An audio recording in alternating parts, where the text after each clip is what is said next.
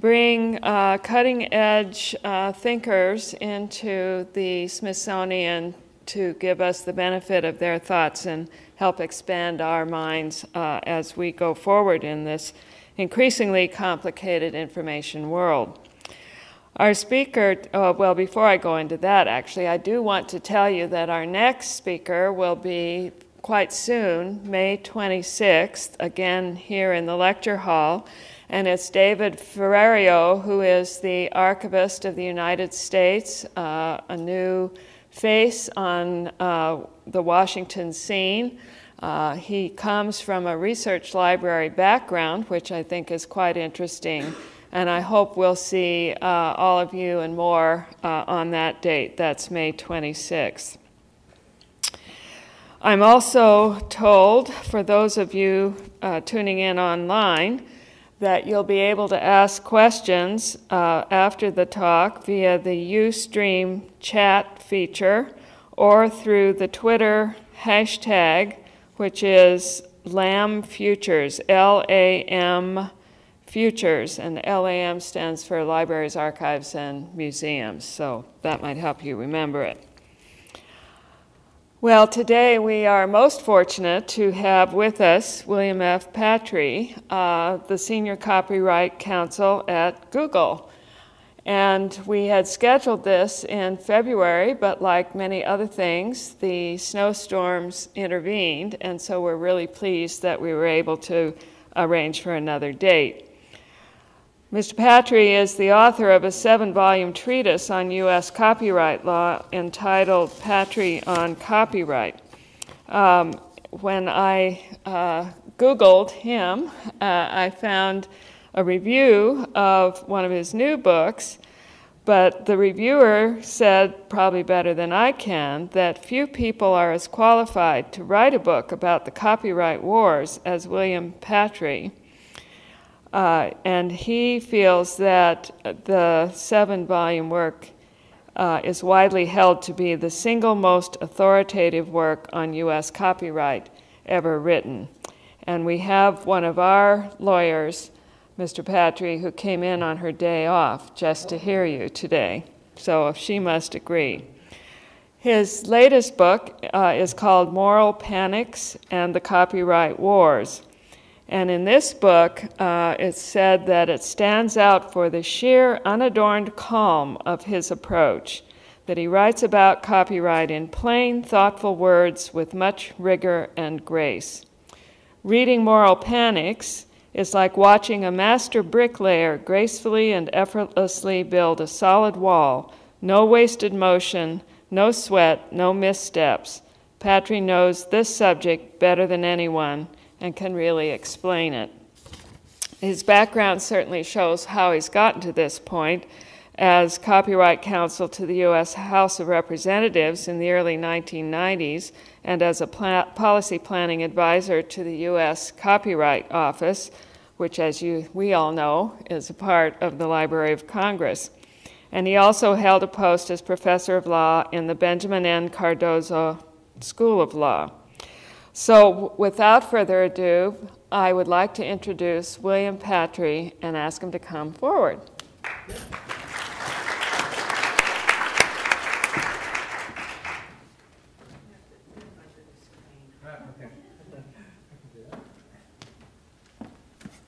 Ah, Thank you so much, Nancy, and thanks to Marcia and Liz for inviting me, and Claudia for walking through uh, administrative red tape uh, on travel.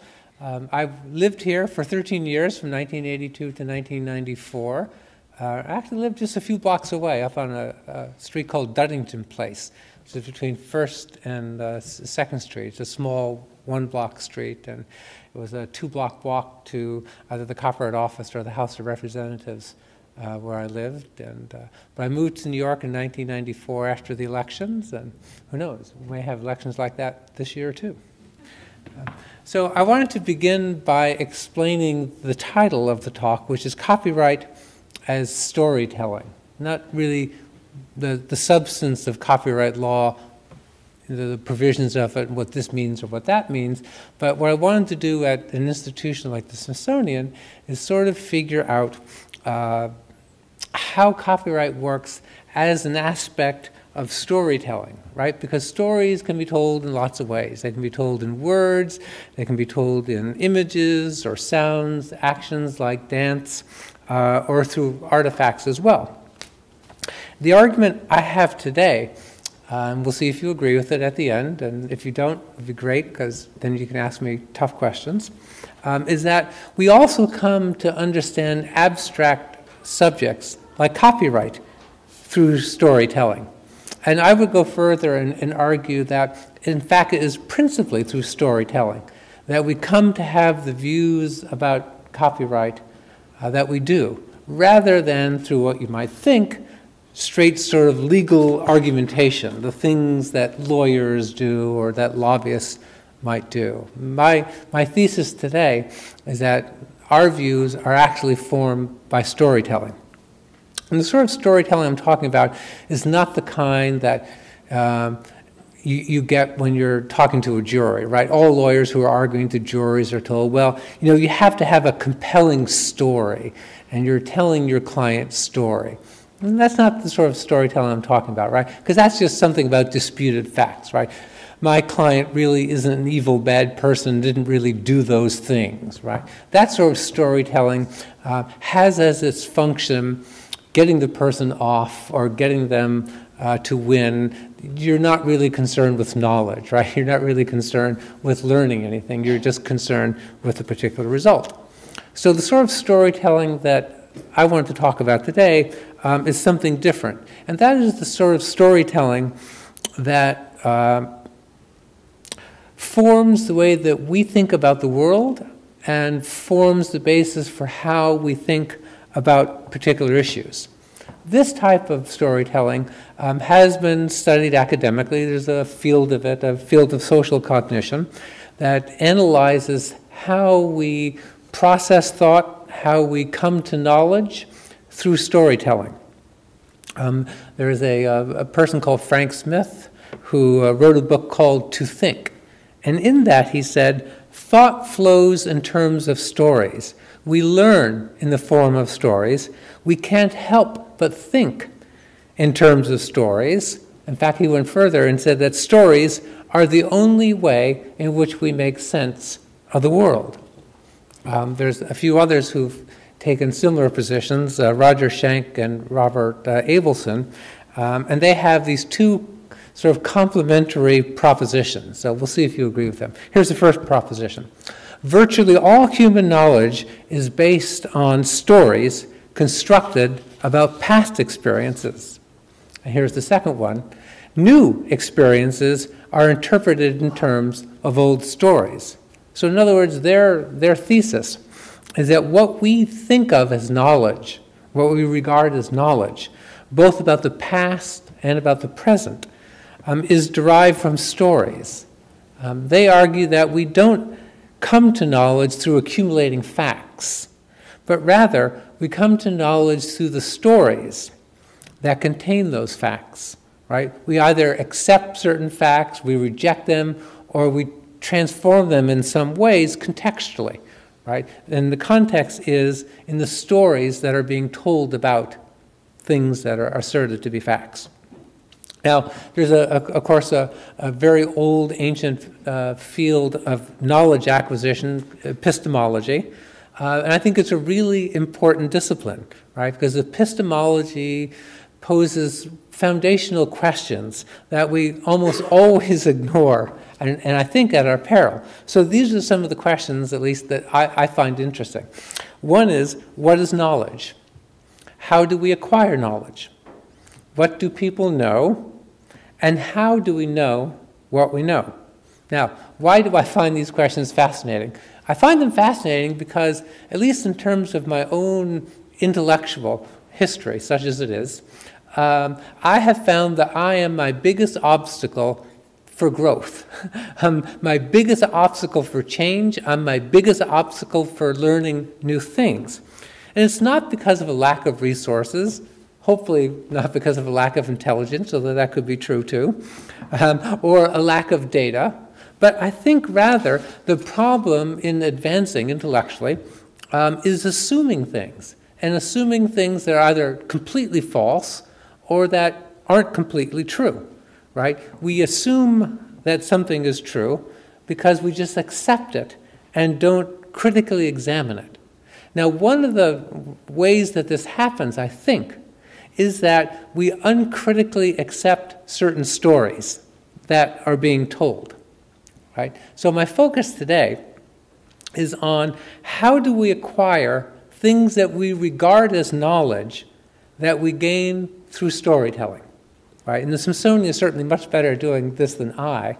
Um, but I wanted to try, in coming here, to do something that was, that was Smithsonian like in stories. Um, now, before I do that for copyright law, I want to go off on what may seem like a detour, but I hope it's not. And that is talk about storytelling in a field that you might not ordinarily think of it uh, as involving, and that's medicine, right? And I'm taking this detour into medicine because I think that if I can, I'm hoping at least, um, that if I can convince you that storytelling plays a role in a field like medicine, you might be more willing to accept the idea that storytelling can play a role um, in the copyright debates. And the second reason is that, and you'll, you'll, find this out in a second, that I myself actually experienced uh, the issue of storytelling in medicine rather directly.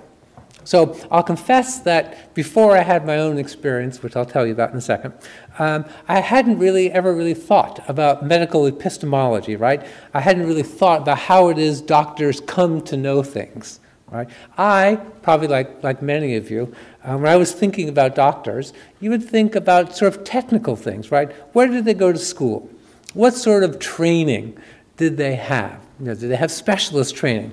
Uh, how many times have they treated somebody who has an ailment or a disease or something wrong um, with them that's similar to what you have, right? These are sort of experiential things or credential things. And so when you think of medical knowledge, at least I did, maybe I'm exceptionally bad in this, but you know, I would sort of focus on where do they go to school, how long have they been doing it, you know, what, what, what, what, have, what have they learned in terms of experience. What I've discovered though is that focusing on these sort of technical things is pretty misguided sometimes. And more important, surprisingly, at least to me, are epistemological issues. Why do doctors think they know what they say they know about me and about you too? So I want to recommend, uh, as strongly as I can, this amazing book. It's called How Doctors Think, right, by Dr. Jerome Groopman. Um, it's available actually on Kindle too, if, if your Kindle fans or Sony e-readers or Nook, whatever e-platform you want to have. I'd like the hard copy myself, but you can get it in the e-form. Um, he is at Beth Deaconess Israel uh, Hospital in Boston, and as it turns out, uh, I was hospitalized there about a month ago, and I had some of the experiences of the kinds that he talks about in the book, um, that he criticizes in the book. So I've actually been thinking about writing him and say, hey, I read your book. It's a great book, you know? And uh, the same thing happened to me in your own hospital. now, uh, well, I might do it, but he probably gets lots of letters like that. So that's the reason I haven't, I haven't done it, although I may. Uh, now, in this book, which is really a beautifully written book, I mean, talk about a storyteller. This, he is an amazing writer, an amazing storyteller. And the first story that he tells in there is great. And the book is, is a lot about stories, stories of particular patients and how, how that relates to how doctors think. Um, but in his studies of this issue about how doctors think, uh, he writes that most medical misdiagnoses um, are due to flaws in physician thinking. They're not due to technical mistakes. And he says the doctors make mistakes not because they don't appreciate what the clinical facts are, but rather they miss the diagnoses because they fell into cognitive traps. And he says that the cognitive errors that doctors make produce a distressingly high rate of misdiagnoses. That would be an important thing, right? If a really high rate of misdiagnoses are because of cognitive issues, you'd want to figure out how those happen. And at least for purposes of today, you're probably interested in wondering how is it that medical cognitive traps have anything to do with storytelling? right? And so here's the answer. It turns out that it has quite a lot to do with storytelling. Now, in the book, as I mentioned, he has lots of different stories um, about lots of dis- different disciplines, and, and some of them turn out to be sort of difficult emotionally. So I'll take one that's not difficult emotionally, um, and that's radiologists. And also because radiologists would seem to be uh, a field of medicine not very likely to be affected by storytelling. Right? What do radiologists do? They go in darkened rooms, right, and they look at images, right, and they try to interpret the image, and then they say what they see uh, on the image. There wouldn't seem to be a lot of room there for storytelling. But it turns out that radiologists can be greatly influenced by the stories that the referring doctors tell to them. So, radiology, sort of in essence, involves two different processes, right? The first process is a perception process, right? They look at the image. And then the second process is the sort of cognitive uh, part of it, right? They're trying to understand what the image is and they're trying to interpret it. Now, radiologists routinely, and more than you would hope, actually, make perception uh, errors, right? They don't see something that was there. And that's important if you don't see something, right? But as important as they are, it's really the second ones that I'm, I'm interested in, which are the, the sort of cognitive process errors. Now, you, only, you, only have, you have to sit down, sweetie. Okay, so go ahead, okay? That's my son Jonah, and his twin Marguerite is here. All right, make your way back. so the, uh, the, the, the, type of errors that you can make in misinterpreting something, uh, I don't know if you did you ever see that film of Rudy Giuliani? Right, he's giving a speech. I think it was to the NRA, and his wife calls on the phone, right, the cell phone, and he answers it. He says, "Oh, hi, dear. You know, I'm talking to the NRA. Uh, I'll get back to you in a bit. Love you. See you." I had one of those really, really Giuliani movements, uh, moments there. so some of those sort of cognitive errors could be, well, you see something and you think it's normal, but it's not normal, or you see something you think is abnormal and it's normal. um, so those sort of things you, you might sort of expect. But what sort of errors can occur when a referring doctor says something to the radiologist, right? Where the error occurs as a result of what's said, right? And so radiologists, you know, get different things from doctors, right? Doctors say, do this sort of a test, right? But they can say other things too, right? They could say uh, bare bones things like, well, just give me a diagnosis, right? Do this test and then just tell me what you think it is. That's really not a story at all, right? Or the, the referring doctor could say, um, the patient has abdominal pain. Right? That's not much of a, of, of a guide either to the radiologist to figure out what it is that uh, the radiologist is to look for. Or the referring doctor could say something like, the patient has pneumonia, confirm. So, what happens when a radiologist gets something like that, which is a statement that the patient has pneumonia and confirm? Well, there's a number of possibilities of what could happen, right? Depending upon who the radiologist is, um, how they felt at the time they were doing it, which is sort of frightening, but it's true, um, and also cognitive issues can, can influence this, right? And so one of the cognitive issues is what behavioral economists have called the availability heuristic, availability sort of shortcut. And so, as it turns out in medicine, um, what a doctor might think you have is influenced a lot by what they have been seeing at the time. Right? So, if a radiologist has been seeing a lot of pneumonia cases, um, it turns out to be more likely than not that they might think that what they have in front of them is pneumonia too. You know, if it's sort of within the general parameters of what, what, what the patient has. Are you okay, Jon? I guess so. Okay. There's another uh, sort of cognitive issue, which is called, uh, and since I worked for a search company, I find this one particularly interesting search satisfaction. Right? So let's say you're looking for something and you find it. What most people do is stop. Once you found what you're looking for, that's sort of it. You don't go further and you don't search for things, say, that you weren't told to search for. You just sort of stop there. You, you're satisfied, and that's the end of it. Now, um, in, in this book, How Doctors Think, uh, Dr. Groopman tells of a really uh, interesting study that was done at the University of Pennsylvania about how search satisfaction influences what radiologists do.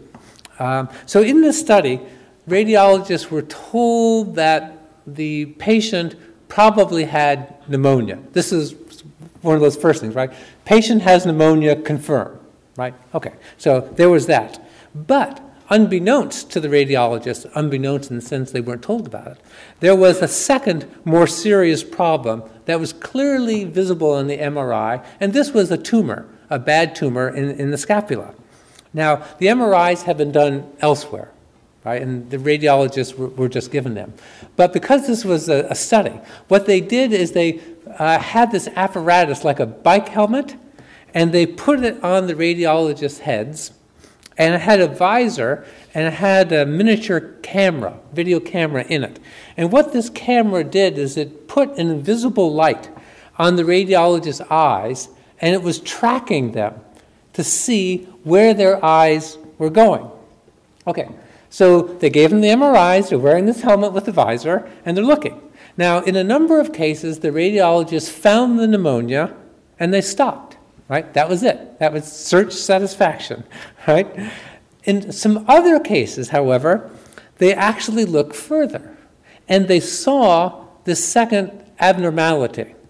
But, and here's the surprising part and why this study is sort of chilling, I think, is that when they were writing up their report, they only wrote up that they saw pneumonia, right? Even though the apparatus showed that they had seen the second and far more serious tumor there.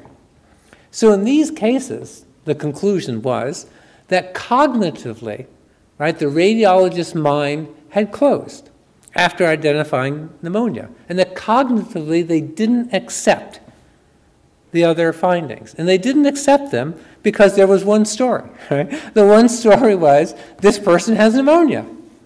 And the amazing thing about it is that they knew there was a second story there, at least perceptually. But cognitively, they didn't. Pneumonia was the complete story. Now, I actually had a similar experience myself, which, which I referred to earlier. So it's like on February 10th, I woke up in the morning. I'd otherwise been feeling great. I'd actually had an annual physical in January. My doctor said I was in perfect health. Right? February 10th, I wake up and I felt like I'd been in a car accident, that my shoulders were completely fractured, my hips hurt. This was like excruciating, debilitating sort of pain.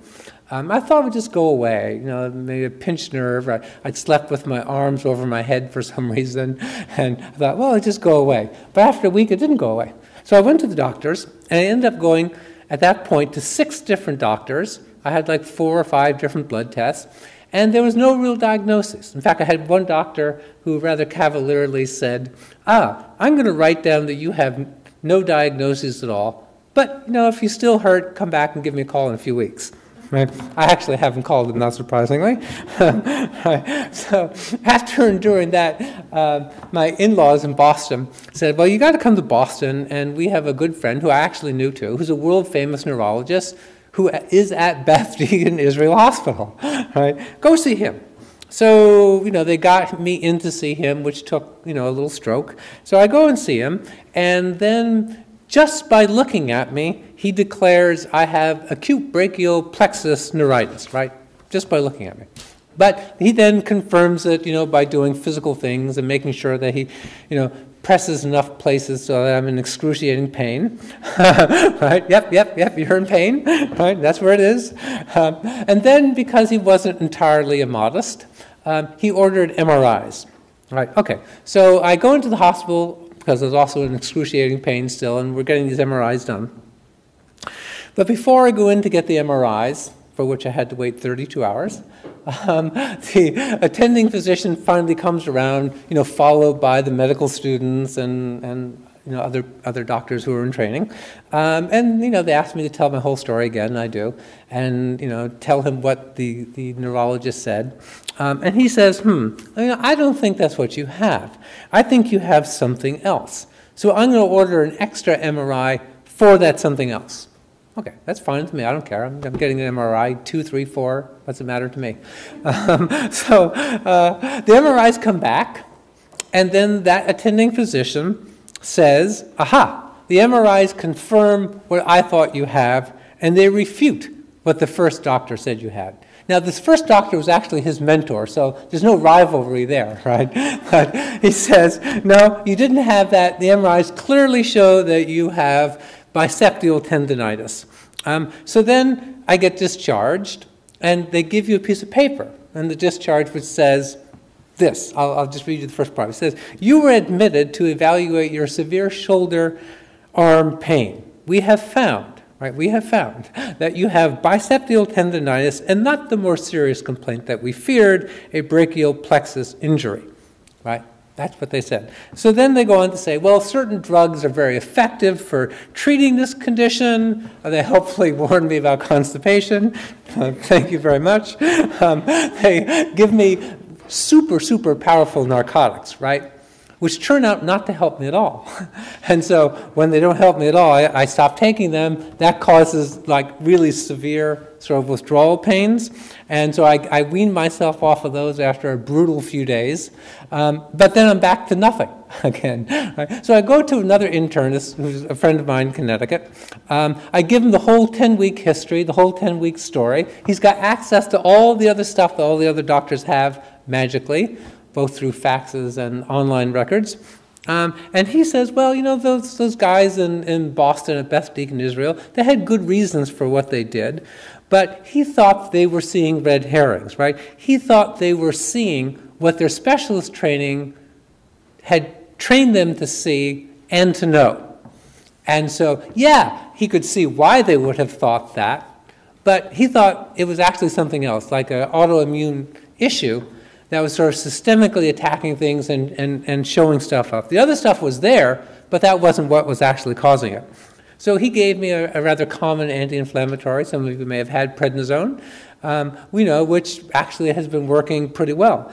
Um, and I've had like two other blood tests, and you know, um, the levels are, are down pretty well. This is only two weeks ago, mind you. So I can't say I'm out of the woods on it, um, but I, I, will say that after this experience, my um, understanding of knowledge, even in medicine, is that knowledge is a pretty fragile thing. Right? It's a bit Rashomon like, right? That what we regard as knowledge is going to be very different depending upon who's telling the story. All right, now let me get back to copyright law because this is supposed to be about copyright, right? Um, so, how does it apply to copyright? How does this idea that the stories that are told impact dramatically on what we think we know. And so I wanted to start with the best of the best, uh, the greatest of all storytellers uh, about copyright, and that's the late uh, Jack Valenti, who was the head of the Motion Picture Association of America. Now, I knew Mr. Valenti for many years from when I worked uh, for the House Judiciary Committee. Uh, he came before us many times, and uh, he was a great, amazing guy. I, I admired him deeply. He was the best lobbyist I'd ever seen in my life. And uh, I always felt incredibly honored and privileged you know, to be uh, in, in, his presence. I didn't agree with him, but you know, he was a fascinating, amazing guy, and, and you couldn't help but actually sort of smile at his enthusiasm, at his passion, and mostly at his facility with language um, and stories. Uh, so in 2003, he gave a speech um, at the Duke Law School and it was entitled uh, Moral Imperatives in Copyright. And he began his talk with a story, right? But it was a story of a special kind, right? Now, we've all been to lots of speeches, um, and I've given lots of speeches too. Some speakers sort of pull a, an introductory story out of their hat, right? And they do it because it's sort of an icebreaker. You know, you're nervous about opening your mouth in front of a bunch of strangers, right? So you think you have to tell either a joke, or you tell a story, or you tell a story that's a joke, you know, that sort of a thing. But once you tell the story, you go on to what your speech is really about. And there's rarely, if ever, any connection between this introductory icebreaker story joke and the actual content of your speech. Not true for Jack Valenti. Right? He was an amazing speaker and an amazing storyteller. He never pulled anything out of a hat. when you hear him, you'll think he's speaking extemporaneously. Not true. He had memorized it. Right? He spent hours and hours memorizing what he was going to say so that he could stand up there and make it seem off the cuff. It wasn't off the cuff. Uh, he wrote a book about public speaking, actually, which I would recommend again highly. It's called Speak Up with Confidence How to Prepare, Learn, and Deliver Effective Speeches. And he tells you everything that he does. Right? If you saw him talk and you read the book, you would realize that he took his own advice about how to do these things, and he did it incredibly. In this book, he describes how he became fascinated with public speaking. And he became fascinated with it at the age of 10, which is really early, right? My twins are eight and a half. And I, I, would find it astonishing if in a year and a half they decided that they were really interested in becoming public speakers. but he did. he did. That was who he was. And he'd been doing it since he was 10 years old, right? And he describes how he's a very careful, clinical observer of people's speeches. So, what I want to do is play you the introductory part, what most people might regard as the warm up sort of story um, in this, in this uh, speech he gave um, at Duke. All right, let's see if this works here. Here he comes. Thank you very much, David, for that introduction. A little brief, but that's all right. anyway, it's kind of you, kind of you, and uh, more than I deserved. First so thing why I'm going to do is the... start my stopwatch. Hold on a second. But I got to tell you a story about this. I can see it on my screen. You can't see it there. I was a small boy growing up in Houston, Texas, growing up Catholic, and the grandson of Can anyone else see it? No. Hold on one second here.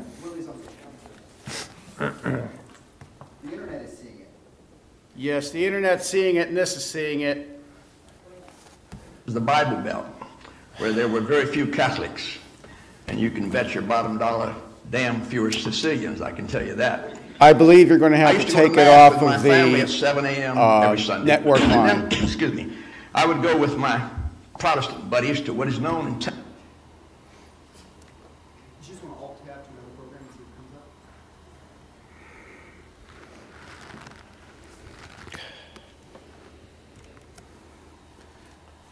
It worked before. Texas of the Brush Arbor Revival. because, let's see. It's standing in Claudia, it's not there. It's the voice that counts. Easy for you to say. Ready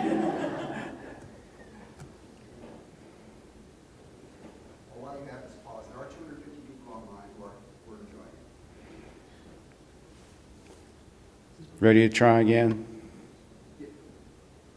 Uh, we made this actually. On a flat piece of parched Texas earth, they have a tent, 500 folding chairs, and a pulpit where circuit riding preachers would come and for a couple of hours kick the hell out of the devil all the way up and down this, the Texas flatlands. And one day I was with a 10-year-old friend of mine and his father, and there approaches the pulpit. This We'll do it without the video then, sorry. The greatest filibustering preacher of all time could go four to five hours and never have to go to the bathroom. That's a ter- right, terrible situation. So the first thing he did is he hauled out a big pocket watch and put it right in front of him. And my young friend tugged at his daddy. and He says, Daddy, what does it mean when the preacher takes out that watch? And the father leaned down and he said, Son, not a goddamn thing. So what, what, what Mr. Valenti is saying is that, you know, he was a uh, Catholic and a Sicilian. He would go to Mass on Sundays. And then after going to Mass, he would go with his Protestant buddies to go see these uh, preachers who would come out uh, on, on a circuit, right, in the, in the flatlands of Texas. And one day when he was 10, right, he goes with this friend of his father's, and this preacher comes who he says is the greatest filibustering preacher of all time.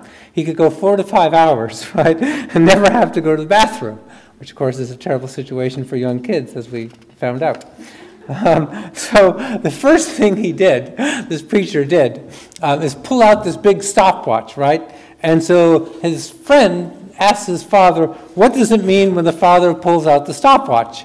And the father says, Not a goddamn thing. Right? Now, why did Valenti tell that story? Right? I don't think it was coincidental that uh, in this story, he was 10 years old, which is also the time, of course, that he says in his book that he became most interested in public speaking. I also think that Mr. Valenti was in the story twice, right? He was the boy, and I would argue that he was also the preacher in the story, in the sense of relating the story to us. I'll, I'll tell you why in a second, right? So the story that he's telling us really is a story about beliefs, I think. And I think he was aware that when we hear a story, we look for the beliefs that the story is, is supposed to convey, but we find those beliefs by the beliefs that we ourselves already hold. So when we go on to the rest of the actual speech itself, I think what his goal was is to sort of transfer sort of fundamental religious beliefs that we have onto the economic views of his clients. Um, and we shouldn't forget that the title of the speech was Moral Imperatives and Copyright Law. Right in the beginning of this, this warm up sort of story was about what it's like to go out and hear religious speakers in Texas at those times. So, what, what I believe is that this warm up story was actually the beginning of the talk itself. Right? It was sort of disguised as a warm up story, but it wasn't. It was actually the talk itself. And why it matters is that his way of telling stories, right, was a way of getting you to believe certain things through other things.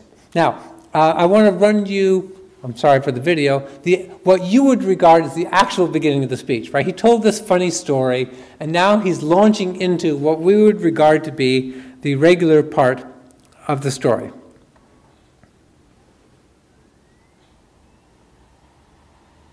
Unless it starts at the beginning again. Yep. Great phenomenon. That's what I- We actually had But worked this all out because it easy to beforehand. do, and they had the power to options that only the rubes, that only the rubes and the rabble and the unsophisticated. Well, what does it mean when the preacher? Almost and there. What does it mean? and he- Here we What does it mean when the preacher takes out that watch? And the father leaned down. and He said, "Son, not a goddamn thing." Now, here's the I'm beginning of the actual myself. speech, okay? That's the end of the story. Dean Here's the speech. thank you so much. Uh, I had a chance to visit Duke Law School today, and as a fellow who always wanted to be a lawyer, somehow took the crooked path. Uh, I was very impressed, particularly with the technological advances that you have. I thought I was on a Star Trek set for a while there. It's incredible what you have done. I'm going to try to speak with you as brief a time as I can, and then perhaps we can have questions, because I think you and I talking together about this is uh, something that's useful. I'm glad to hear that you had Larry Lessig here. Larry and I have debated three times, oh, four times, I guess, and I find him a thoroughly charming, brilliant man, although we're on the opposite sides of just about everything, including the Eldred decision, which I sat in the Supreme Court, and I told one of my friends it's going to be a 77 to 2 decision. Unfortunately, I, I didn't pick the right justice. I got Breyer right, but I didn't get the other one right. But Larry and I take our little show on the road, kind of like snappy songs and snappy patter, and we get along wonderfully well. So I have here two pages of my speech, and I hope that uh, He never looks at the pages, mind mind you. He just gets up and he does it. But let Here- me begin by saying no free democratic country, no free democratic country can lay claim to greatness if it doesn't construct some kind of a moral platform, a moral imperative, if you will, to guide the society and have the society recognize and respect civic trust. This moral imperative applies to every business, every industry, every profession, every university, and the government as well. It is defined by what William Faulkner called the old verities. Words that really illuminate what a free and loving land is all about. Words like duty, duty, honor, service, integrity, pity, pride, compassion, sacrifice. Now, if you regard these words casually, if you find them uncool, or if you treat them as mere playthings that only the rubes and the rabble and the unsophisticated and the unlearned observe and honor, then I'll tell you, my friends, you and I will witness the slow undoing of the great secret of America, without any question. Now, newspapers late. Okay. Now, to me, if you go back and listen to his beginning story, it's seamless. It's a part of one story. He told lots of other stories too, right? There he was tying together religious issues and moral imperatives, and he goes on to talk about those issues. But he told lots of stories. So his most famous one is the, uh, is the Boston Strangler one, which some of you may, may have heard the quip. So in 1983, um, there was a case bef- going through the courts on uh, VCRs, on the Betamax, and whether you could tape off the air. There are also issues about home video, which was then becoming um, a brand new market. And uh, uh, Hollywood wanted to stop both um, over the air taping and wanted to control the home video market. And so in 1983, he gave testimony before Congress. It was actually out, out in Hollywood. Um, and in that testimony, he attempted to portray the VCR as a dire threat to Hollywood. And here's what he said. Now the question comes well, all right, what's wrong with the VCR? One of the Japanese lobbyists, Mr. Ferris, had said that the VCR, well, if I'm saying something wrong, forgive me, I don't know. He certainly is not MGM's lobbyist, that's for sure. He said that the VCR is the greatest friend that the American film producer ever had. I say to you that the VCR is to the American film producer and to the American public as the Boston Strangler is to the woman home alone. Now, part of the story is just crude xenophobia, which regrettably was not uncommon at the time. Right? The evil Japanese are depicted as sort of economically dive bombing Hollywood, you know, resulting sort of a, a copyright Pearl Harbor. Uh, Hollywood, however, is portrayed as the woman home alone and is being threatened by this mass murderer on the loose which the authorities, in this case Congress, really are, are duty bound to stop, and they're duty bound to stop by giving Hollywood control over the design of consumer electronics and over the home video market. The, the point is that the story turned out to be false. It turned out to be completely false because the VCR did turn out to be Hollywood's best friend, as Hollywood itself admitted. Right, a number of years later, Sumner Redstone, head of Viacom, which owns Paramount Studios, said that home video was the bonanza that saved Hollywood from bankruptcy. Right? Now, there have been other stories, really identical stories, that have been told for decades about the threat to copyright owners from new technologies.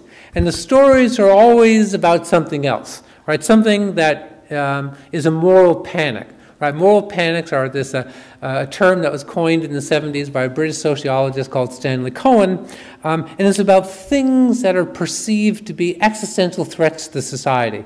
Some of them are actually rather funny. Comic books, right, used to be considered an existential threat to society. There were hearings before Congress, um, but there are other, you know, more more, more famous ones. Um, two burning witches, of course, and you know the McCarthy era um, for Republicans, the Obama era, maybe a moral panic. Um, but the story is always about the other, right?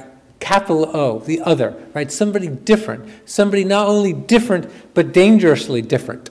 And so, if you're going to use those sort of moral panics for copyright, you've got to tie copyright somehow to this moral panic that's going on in society in general.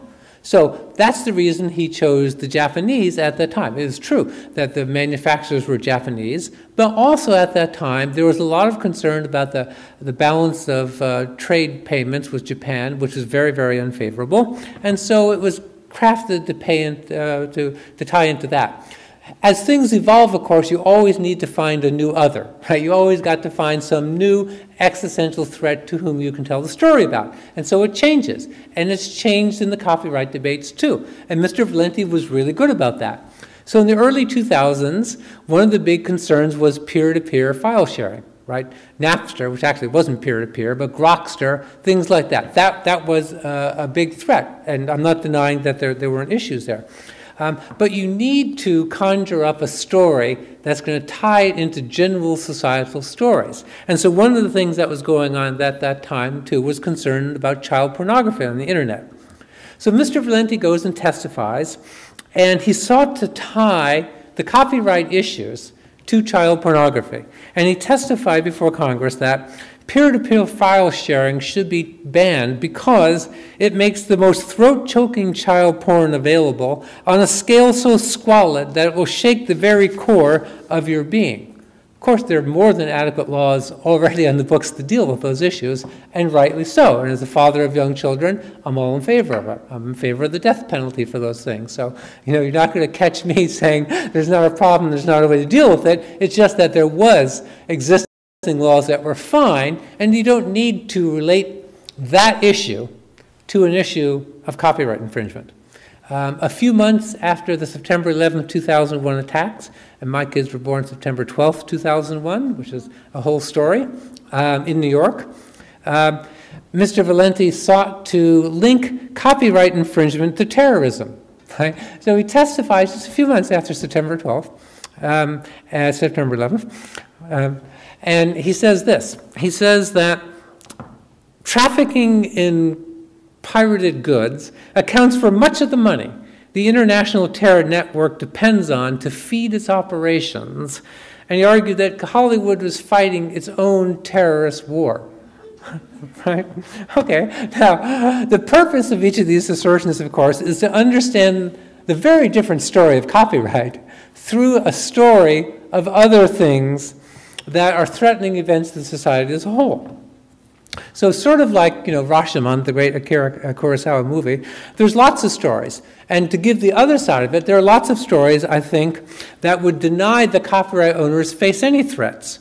Right? This sort of side of the debate, which is typically called the copyright left side, um, thinks that motion picture studios will be able to invest hundreds of millions of dollars in the production and distribution of movies, um, but the films will be widely available on the internet even while they're still theatrically released um, without any, any payment at all.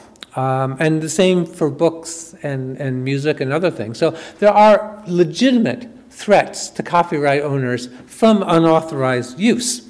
Um, and I think it's a mistake to construct stories that say that we can have vibrant copyright industries but not find a way to deal with that sort of piracy. So the bottom line for me, and I'll stop here so we can take questions, is that we all love a good story, and stories are great, and we understand things through stories, but we owe ourselves a duty, just like I found out in my medical travails, to get the right story, to get the true story, because it's only if we find a story that actually fits what reality is, I think that we'll be able to find a good solution. So, uh, thank you so much.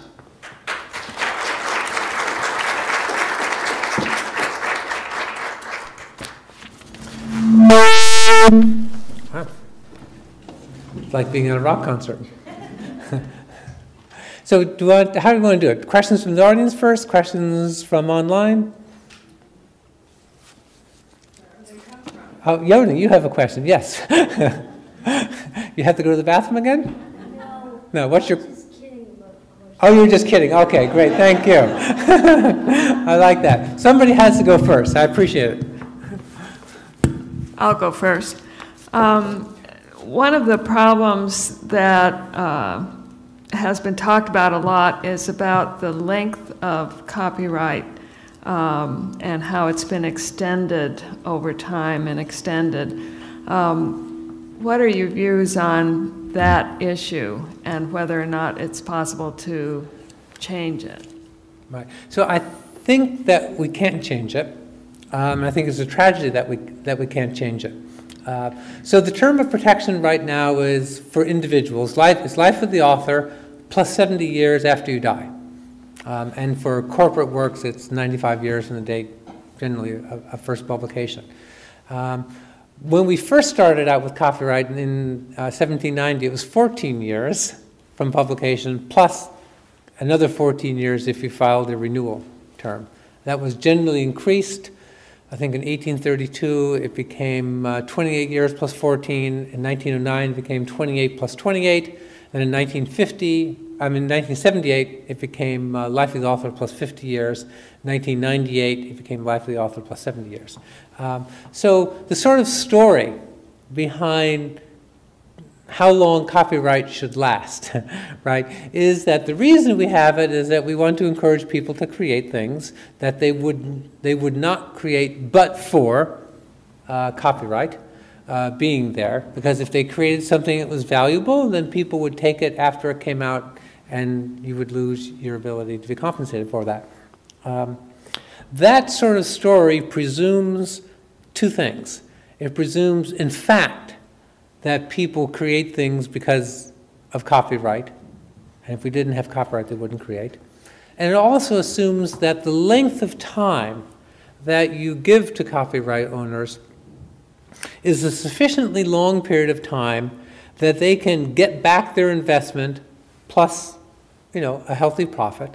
Um, but it's not so long that it impedes other people from using the work too right? We have a constitutional limitation in Article 1, Section 8, Clause 8 of the Constitution that says copyright can only be for limited terms. So even if we wanted it to be perpetual, constitutionally we couldn't.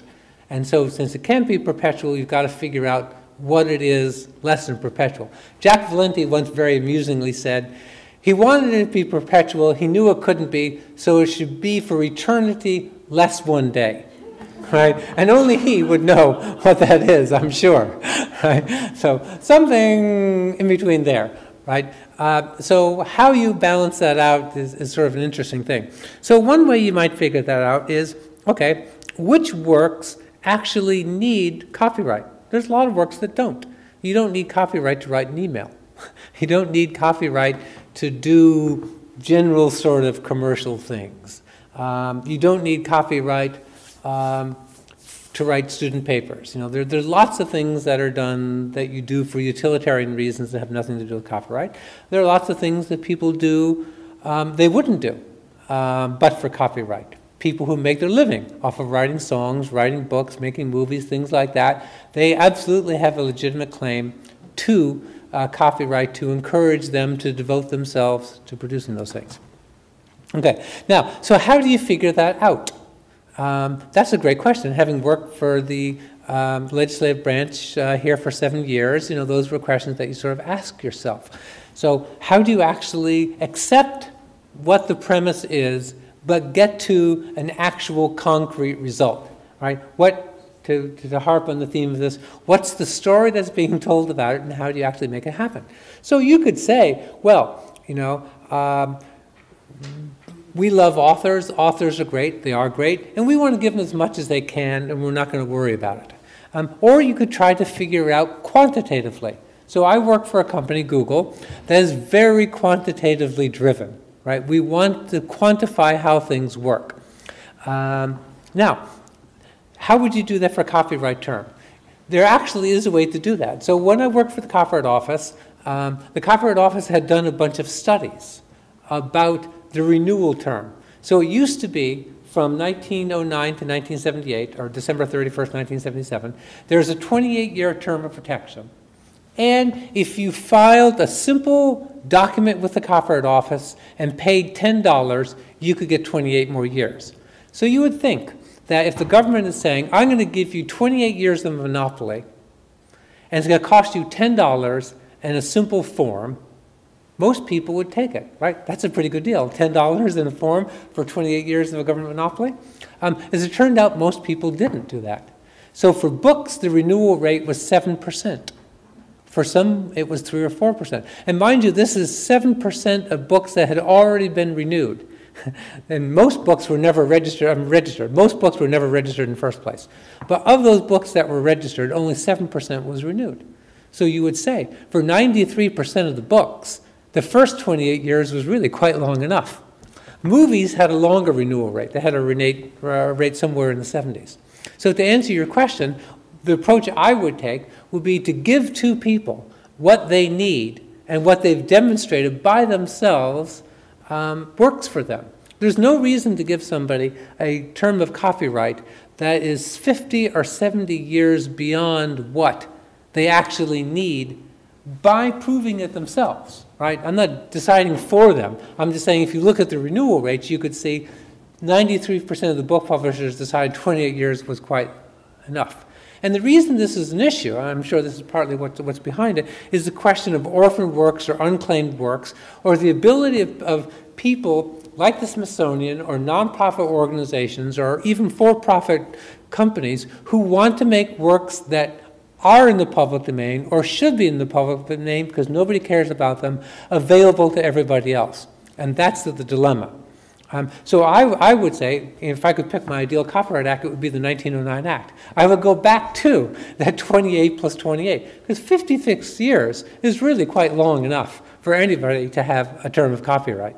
Right? Most people don't write um, for themselves much longer than that. Oh, maybe Mr. Valenti will, will come back on.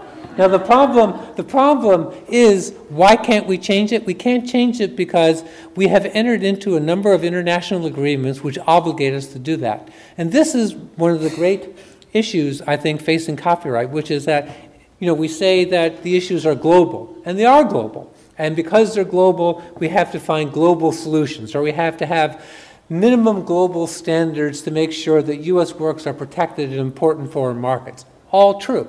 But what has happened is that we have been enacting in trade agreements. We have ACTA, which is being debated right now. We had the GATT agreement in 1994. We have free trade agreements with companies like, uh, countries like Australia, South Korea, lots of other countries, in which we have obligated ourselves to this term of protection.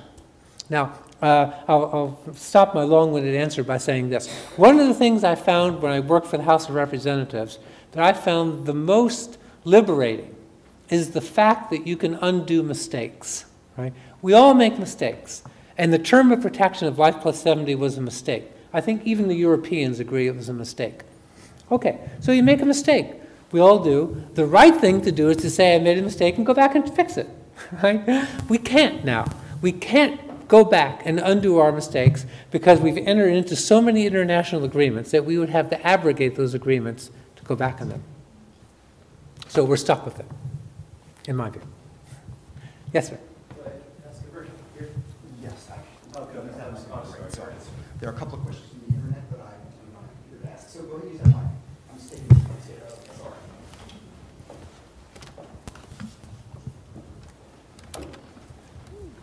Where does it stand now on Google Books, the publishers, and copyright? Right. So we submitted, well, Google was sued, um, not an uncommon occurrence, I regret to say, though it gives me things to do.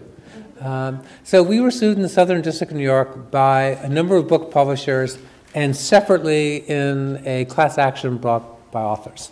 Um, as in most civil litigation, I think 95% plus of civil litigation settles so it's not unusual at all for civil litigation to settle. Um, we entered into settlement negotiations. Um, the authors actually came to us and asked if we would be interested in doing a deal on out of print works. Um, and so we entered into long negotiations with them. Um, we came up with a proposed settlement. Um, the Department of Justice looked at it. There were some changes they wanted. We made those changes. Um, we submitted it to the court. They didn't they liked some things but didn't like other things. Um, there was a hearing before Judge Jenny, uh, Denny Chin, maybe, what, five weeks ago, something like that? Time flies. Um, he recently has been confirmed to the Second Circuit. so uh, he has not issued his ruling on whether he's going to approve the settlement or not. So where it stands is we've been sued, we had a deal to settle the case, we need the court to approve the settlement, he's held the hearing, he said he's going to issue his opinion. Um, he since got confirmed to the Second Circuit, so you know maybe we'll get an opinion from him soon that will say yes or no, and that's where it sits. Yes. Uh, we've got two questions from uh, JJ Markin on Twitter. The first is how to set free material on which the rights owner is just sitting, for instance, Disney on, and Song of the South. And his other is your thoughts on copyleft and similar alternatives.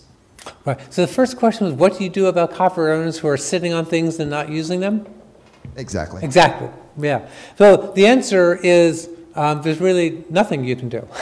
Right? So if you believe that, um, especially if you believe that copyright is a property right, this is another great story. Uh, I think that you know the story of how conceptually copyright is being cast as a property right, rather than what I believe it to be, which is a government grant uh, a government program, a really important government program. I mean, I'm a liberal Democrat, so if I say something's a government program, I'm not criticizing it. Right? I think it's a really good government program, and I believe in good government programs, and I believe copyright's a good government program, properly, you know, adjusted if we could. Um, but part of the fact of it being an exclusive right is the sort of Nancy Reagan just say no. Right? So you can do that, right? What does it mean to own something if you can't exclude others, right? Many people believe that is in fact the most important part of something being property is the ability to say no for good reason, bad reason, or no reason at all. Right? When I worked for the House of Representatives, I think it's probably still true, that was true for employees. You were employees at will. You could be fired for good, no, or bad reason. That's copyright. Copyright's sort of at will. so the answer is there's nothing you can do about it. Um, there is no concept of abandonment in copyright, right? That would be a doctrine, like in, in, in, uh, in real property. If copyright were property, like real property, you might have something like adverse possession or abandonment, a sort of use it or lose it idea. But we don't have it for copyright. And that ends up being a huge problem. Um, it's a problem, obviously, for companies that you can identify, and there you just get angry. Um, but it's an even bigger problem for people you can't identify. That's the orphan works issue, right? You've got all these works that would have gone into the public domain. I mean, think of it for books. You've got books of which only 7% were renewed after 28 years. 93% of those books you could use right? You could use them for good purposes. I'm not talking about just using them for what they are. You could use them to create new things, which is what it's all about, right? You could do it in a way that helps people learn from the stuff in there. But no, we can't do that. Why? Because we have a term of protection now that doesn't have renewals, and we have a doctrine of copyright law that doesn't accept abandonment or adverse possession. And that's a huge problem. And you know, there may be orphan works legislation, but I, I, think that's something we have to figure out. And it's a problem that we caused ourselves. There actually isn't an orphan works problem. That's a misstatement. It's a misanalysis. The problem we have is the term of protection problem, so I'm glad you mentioned it. The problem is that we don't have formalities, that we didn't have a system that efficiently separated those people who still want their copyright rights, and I say, God bless them, they should have them, from those who don't want them. And we've lost that ability, and I think we have all suffered tremendously for it. And the problem is, is that you don't see the suffering, right? You don't see the things that would have been created, that would have been benefited people, but you can't do it. And, and that's why it's a big political problem, because you can't point to it. You can't say, oh, I would have, the Smithsonian would have done this amazing project, but you know, we can't do it because you know, we can't find the person, or because they just say no. You know, and people say no for sometimes good reasons, and they say no for bad reasons. When I was uh, uh, uh, in private sector, I worked at a law firm for a guy whose son was uh, had severe disabilities, and he went to a school for other children with severe disabilities. But they trained them uh, to put on small one-act plays and they wanted to put on a small one act play of a larger three one just for the families. Right? No one else was going to see this. It was just the families. They weren't charging anything for it, right? And this was a play that they could do. So I called up the copyright owner of this play and explained the situation. I said, These kids want to put this on for the parents, they'll pay you. But it needs to be a shorter version. And they said, No, you can't do it. Because we think you have to put the whole thing on exactly as it is or do nothing. To me, that's, that's not right. But that's our system. Now, I've forgotten the, the second question, which was. Uh, the second question was your thoughts on copyleft. Oh, yeah, right. Copyright. left. So I, I, you know, that's sort of an ill-defined term, and, and I plead guilty to having used it. Um, what, what I would answer is in terms of alternatives. So I would, I think the question may be about something like Creative Commons. Um, which I think is an amazing, fantastic alternative, right? So, one of the problems in licensing is not that the other person might not want to license it, is that you can't find them because there are too many people out there. There are too many works and too many people who want to use it. And what you need is the ability to license works without having to negotiate on a one to one basis, right? The promise of the internet is that you can have that. The problem of the internet is connecting people. And so, one of the things I would say to tie this into the idea of copyright as property, and I would say this to many copyright owners, is get over the idea that copyright is an exclusive right, that you want to control everything, and start worrying about getting paid. Right? I want them to get paid. Right? So the idea should be how can I get paid for my works, not how can I stop people from using it. Right? If the focus is how do I stop people from being using it, you're wasting your time on doing that. Focus on getting paid. So, the great thing about Creative Commons or other systems like that, where you have the ability as the creator to determine how you want your work licensed. For how much money, no money, for what sort of use, commercial, non commercial, attribution, derivative works, whatever it is, is that you can do it. And then you never have to talk to anybody who wants to use it. You can simply do it in an automated way. And to me, that's the future of copyright. That sort of collective or mass licensing where it's a win win, where copyright owners get paid as they should get paid, and we get to use the works, but respect the terms and conditions that they put out. So to me, that's a great thing. Yes, sir. Following on that, would you like to tell stories about fair use? Sure, I love fair use. I've been studying it for, for a long time. Uh, I've been studying it since, I probably don't want to admit it, 1979. Yeah. So, what's your story? Well, you talked, gave us a story about a play. Right, It was in a school context. right. Couldn't they have done that as exercise for one time? They might have been able to do it, uh, except it was a for profit school. Uh, so that would have been an issue. Now, you could say, as I believe, that, that the issue of profit versus non profit, say for fair use purposes, should really be determined by the use that's put for it and not the status of the user. Um, and certainly it's an issue for the Smithsonian, I think, since you have two different funds, right? You have funding that comes from like trustee funding, and you have funding that is government funding, and, and then you have mixed issues where you get it from both, right? Uh, so um, to me, fair use is a really important doctrine because it, it is one way you can get over the absolute ability to say no. Right? It recognizes that yes is also a good thing societally right? That letting people use things for constructive purposes that may not harm a core economic market for the copyright owners is still a good thing. Um, so I'm a firm believer in fair use. Um, I think we made a huge mistake in 1978. And that mistake was this. Before 1978, there was no mention of fair use in the Copyright Act at all.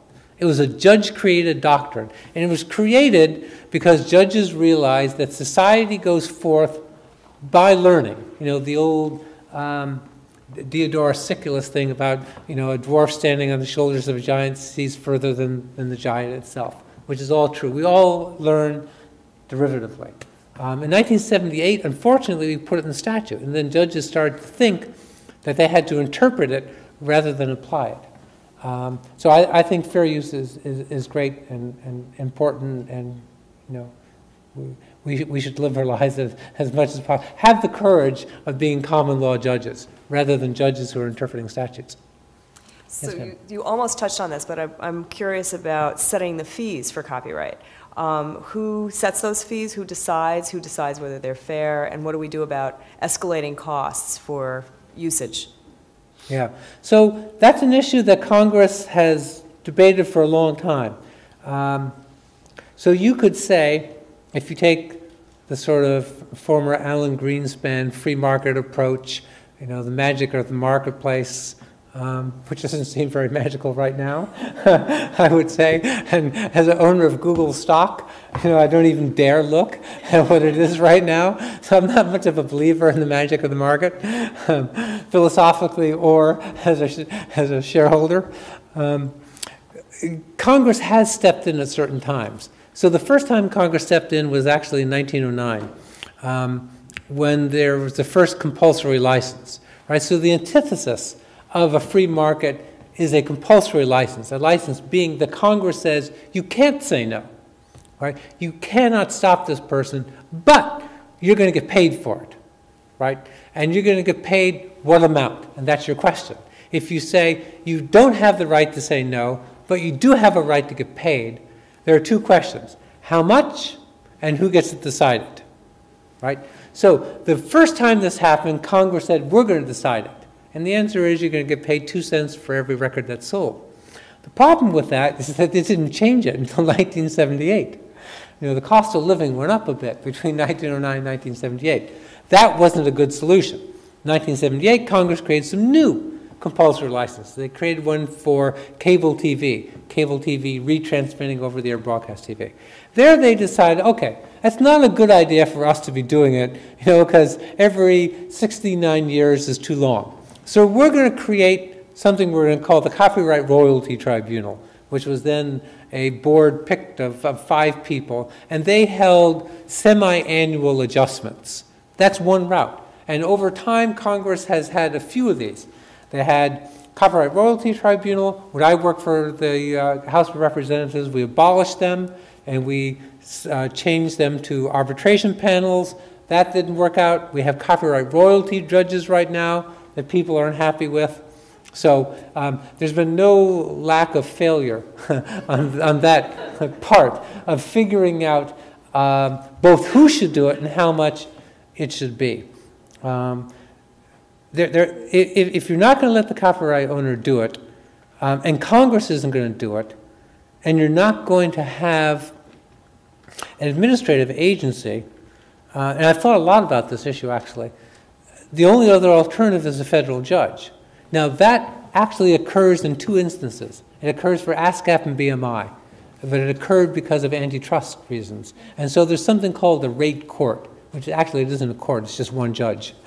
And so if you're an ASCAP or BMI user, you negotiate with ASCAP, and then if you don't reach an agreement, you go to this judge and the judge decides it. But that's a really expensive proposition.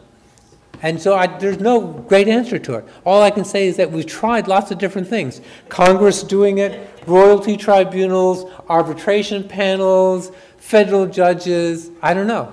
I don't know. I, I wish I could tell you I have the answer. You know, you would think if you believe in the marketplace that the marketplace would give you the answer. You know, there's this theory that copyright owners won't leave money on the table. It's not true. they do. And you know, maybe it's because there's an asymmetry there in information or power or or what. But it's one of the it's one of the great pressing questions. Uh, another alternative, by the way, that's in Europe that we don't have here, is mandatory collective administration of rights. So there, if you're a music composer, you have to sign up with a agency that collectively administers rights. Uh, but then that just sort of kicks the question further down the way, which is what if you don't like the money you're getting from them? What if you don't like the rates that they're charging? So what happens in Canada is that you then appeal that to a court, right? There's all, there's, the problem is always kicked somewhere down the line because you always need to have a, a, ability for someone to express their dissatisfaction and have their dissatisfaction adjudicated but it's always got to be adjudicated by somebody who has the governmental power to issue a final decision right? Those i think are the problems and they're seemingly insoluble problems. I mean sort of depressing to say you can think about this for many many years and not come up with an answer but that, that's lamentably my experience. Yes, sir. Uh, Cobright on Ustream is asking, how did piracy and derivative works get lumped together into the same copyright protection? They're obviously very different activities. Hmm. So if you, um, I, so it's a nice question of what you define as piracy, and this is an, uh, this is a term that's being thrown around a lot.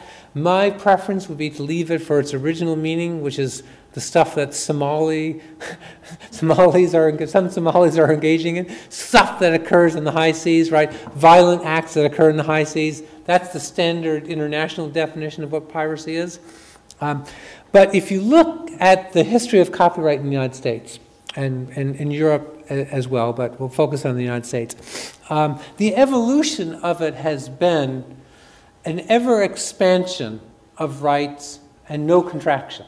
And not just in term of protection, right? Term of protection, we went 14 plus 14, 28 plus 14, 28 plus 28, life plus 50, life plus 70, right? Not backwards, always forwards.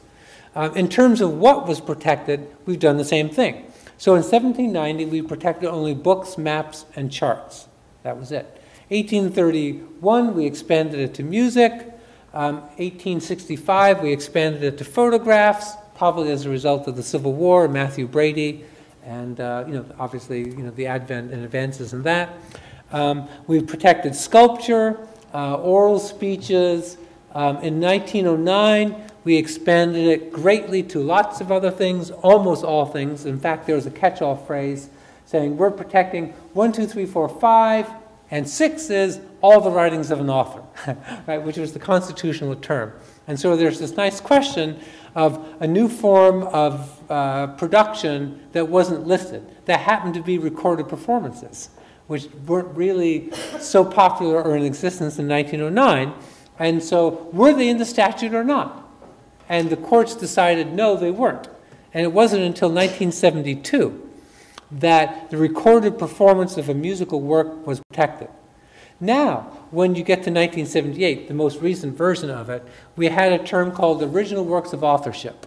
Um, and even there, there were some works that weren't protected. So when I worked for Congress, we extended protection in 1990 for the first time to architectural works, the built three dimensional structure. We had always protected since 1909 architectural plans and drawings, but it wasn't until 1990 that we protected the built three dimensional structure, at least expressly.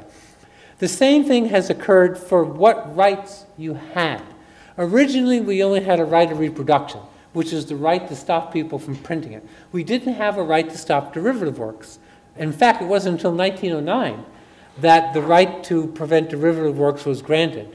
Before then, abridgments were okay.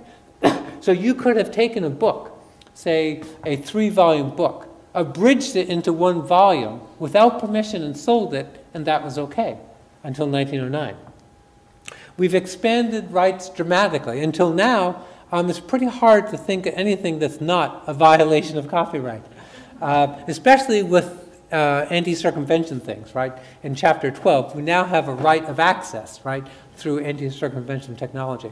So there's very few things that aren't protected. And so our history has been an expansion in every way, in the term of protection, um, in what's protected, and the rights that are granted. And the problem that has occurred on the internet um, is that the way that the internet functions mechanically, not deliberately, but mechanically, is to implicate rights that technically map onto, say, a right of reproduction. Buffering and caching, right, um, is a reproduction seemingly technically, but it doesn't make any sense in internet space. If we want to have search engines, if we want to have streaming, of things like this. That necessitates caching and buffering. It necessitates things that traditionally would be a right of reproduction, but shouldn't be. You know, we need to think actually of what we want the end result to be, and not whether it maps technically onto something that's a reproduction or a derivative work. But that, that's where we are. Hey, Bill. Um, I, I I was listening to your story about narratives um, and, and the, the, the storytelling uh, that yields policy choices here in Washington. And I couldn't help but thinking how increasingly those policy choices tell their own story, one that's, that's largely not heard here in DC and, and isn't all necessarily entirely sound either. Um, and so we see events like, uh, you know, um, the, the Europeans electing uh, members of the Pirate Party to the European Parliament, and, and very reputable economists saying this whole intellectual property thing is, is, is wrong. Um, and I think part of that is a result of uh, sort of policy choices here in DC, term extension, DRM protection. Uh, you know, we see the file sharing litigation against end users. Uh, you know, single mothers living in the projects, dead people being sued by the recording industry. Uh, and that sort of tells a story outside of Washington that has, has, has in a lot of ways, sort of undermined the credibility of the entire system, uh, which, which should worry us as professionals who you know, make our living off that system, that there's a lot of people outside of it who think this entire thing is, is bunk. Um, and I, I wonder, you know, that, that, that if you have any thoughts on these two sort of competing narratives that, that talk past each other, they're, you know, ships passing in the night. Right, right. So I, I think that's an issue that is obviously much larger than copyright. And uh, this is going to sound very anti-DC, and I apologize for it. Um, I spent 13 years here, and they were great years, and, and I loved it. Um, but when I left, it was really very liberating. It was really quite wonderful. Um, and it was wonderful in this way. And I love coming back. but, um, you know, what, what, what, happened when I was here um, is that, and th- this is this is not DC physically. This, this is DC as, as, Matt's talking about it as as a as a policy, Capitol Hill sort of thing, right? I'm not I'm not talking more generically about DC as as a city, um, but it's how these debates occur. And what what I think happens um, is that everyone believes that the decisions that are made here, the stories that are told here, um, are are, are the center of the world and are the right stories. And that the decisions that are made um, are, are decisions that are made based upon facts, based upon data, and, and, and based upon uh, an impact that will genuinely occur in the real world. And I don't think it's true at all. It's not true at all. And when you live outside of it, you sort of wonder how did I ever believe that? What was wrong with me? And it gets back to what I said at the beginning that we are our own worst enemies.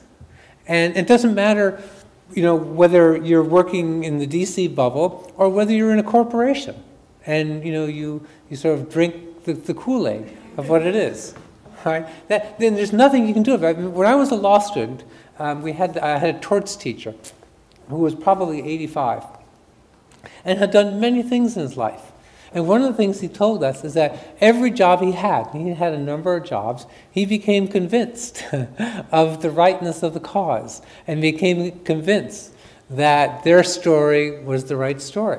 I think it's just a human condition um, that is very hard to escape some. So, while I, I, I it seem like it's anti DC, I, I, I, I hope it's really a larger issue. Um, and that, that's why I wanted to tell the story about the medical things, both because it's fresh for me personally, but I actually saw how it worked.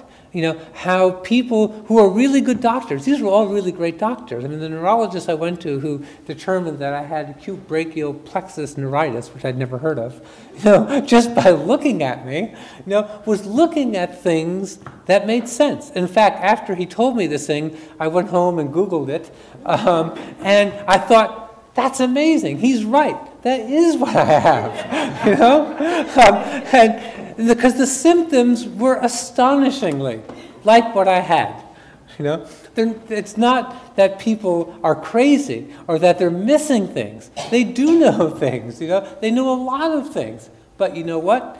You can be wrong. You can think you're right and you can be wrong. And the problem is getting yourself to think outside of yourself. That's an amazingly hard thing to do. Um, I, I, I, wish I could count on one hand the number of times I've done it. But I think it's a really worthwhile thing to try and do. Um, so for DC, you know, um, um, you know, we're, we're, blessed to have people like you who, you know, can, can show us um, other stories, other compelling stories.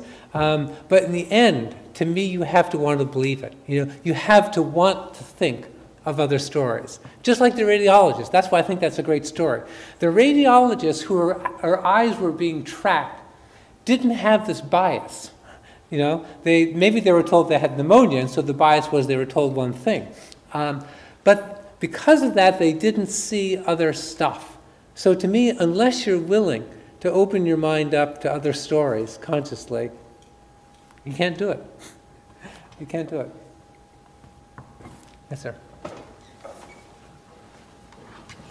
This may be a little bit uh, of a stretch, but uh, I just wanted to ask you about what you think um, regarding the recent uh, debate between Apple and Adobe, Between who and who? Apple Computer and Oh, yes. Adobe. Oh, Apple and Adobe, yeah. Right, the uh, the issue of the Flash uh, application, Right, and um, it has to do with open source right, and uh, open knowledge. right. online libraries and the cost of uh, just knowing things Yeah, yeah. in the digital age compared to what you have explained uh, so far, like uh, bootleg copies in the pre digital era. So the question is um, what do you think of uh, open source and how can it be implemented not only within the US and worldwide? Right. So I don't know the, a lot about the details of that specific one. I've done some reading about it. And, you know, it's sort of funny that, that both companies claim they're on the side of being open. right? And the other one says, no, you're closed. No, I'm open. Um, so, you know, I like, I like Apple products a lot. Um, I'm less infatuated with Adobe products because I find it annoying that you can't really edit PDFs or at least do it effectively. Um, but the, uh, I've tried really hard lots of times to do this um, and bought a number of, of Adobe products that should let me do it, but I've never been able to figure it out. So I find it very frustrating to have a closed system like that. Uh, I think it's one of, the, one of the great questions that we have is open versus closed. You know, Facebook is a closed system. Um, iTunes is a closed system. Um, my company is very much in favor of open systems. And you know, people will say, "Well, you're in favor of open systems because that benefits you economically." I think that's true. I don't think it's surprising that companies are in favor of things that benefit them economically. The question for the public, I think, and this is an attempt to answer your question directly, is what benefits the public the most? Right? Is it open versus closed? Apple would say, I believe, although I don't know this, that closed systems, by which they would mean they exercise quality control over their products, are in the public's best interest because the public is getting the best quality thing. Other would say, no, that's just sort of a disguise because you want people to do certain things. So for me, the, the ultimate question is what's in the public's best interest? My own bias um, is that open is in the public's best interest because I believe that the public has lots of things to contribute to stuff, and that the old sort of way of doing things, I'm deliberately not using, using the hackneyed word paradigm, um, the old way of, of, of copyright, which is complete vertical control, right? The, the, the goal for many copyright owners, especially motion picture studios, would have been the golden era of studios, where they owned the actors, they owned the writers, they owned the copyright, they owned the theaters. They owned everything all the way through, right? Versus a situation where we have now, where that's very hard to do. So if yesterday I had in our New York office the Israeli Consul General in, and I, we were giving him a demonstration of maps, right? So if you take Google Maps, we can put things out there. But if we controlled what people did with those maps, um, it wouldn't be very valuable at all. What's valuable is the stuff that people add to it. Right, so the first one was one of the first ones was uh, rentals in San Francisco. Another one was Chicago crime, where people created overlays where they took crime statistics and they overlaid them to your neighborhoods. Um, and now, of course, you overlay tons of things. And to me, that's much better than having a closed system. To me, having systems that are open and let everyone contribute stuff, we're all better off for it. But it's you know it's a matter of philosophy, I think. Um, AT&T once, when they dominated everything, someone told them about an idea, an idea that was very close to what the internet became. And they said two things. One, it's not technically possible, and if it is, we'll kill it. right? so,